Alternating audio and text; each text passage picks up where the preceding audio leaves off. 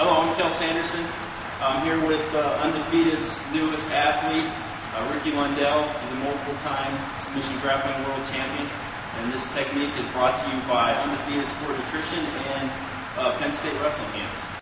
Okay, I'm going to show you an ankle pick uh, just for fun here. This was one of my, probably my signature move. um, and I do this a little differently than, than most uh, people do an ankle pick. First of all, you get, get to your collar tie. You know, go get the wrist. It's really easy. So block, grab, wrist, collar tie here. I'm going to circle to the ankle that I want to attack. All right, and I'm going to I'm going to disguise it by holding this direction for a second. You know, whipping it back and forth here. You know, pushing with my hand high, then pulling. But ultimately, I'm trying to get back to this position right here with my head low, where I can drop. See, I can sneak my hand down here close to the ankle pick, and, and I keep him on his toes, his legs back, as you can see, so I can get a good hard uh, snap right there.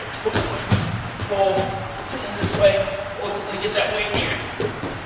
Throw the head, run him down. Okay? And that's it.